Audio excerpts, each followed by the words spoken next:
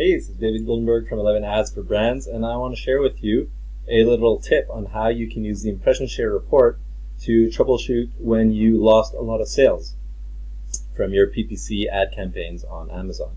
So the impression share report tells you what percentage of the available impressions you're getting on any given search term. And you can have the report exported in one of two formats, either summary data for a certain period of time that you're looking at, or daily data. And what I want to encourage you to do is export it with the option for daily data selected. Okay, it's just a radio button in the uh, user interface when you're downloading the data. And then what you do is you get this report, you sort the uh, data by date, okay, and you narrow in on the search term, you filter for the search term that you're trying to uh, troubleshoot. And what the report will show you is what percentage of the impression share you're getting each day because you exported daily data, right? So let's say, for example, that you are selling um, digital cameras. Okay, so you're targeting keyword digital cameras and uh, you are getting 20% of impression share, 19%, 21, 21, 20, 21, 19, yeah. And then boom, one day you see that it dropped down to 10%.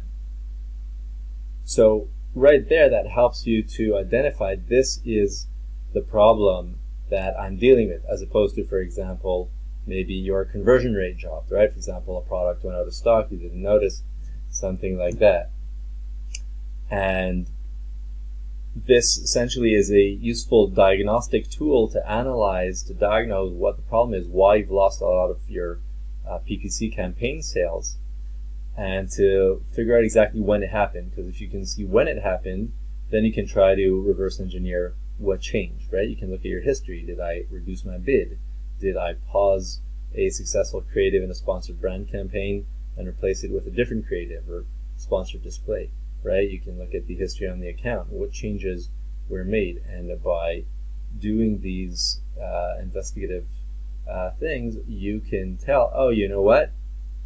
I lowered the bid uh, that day, and that's when the impression share dropped, for example.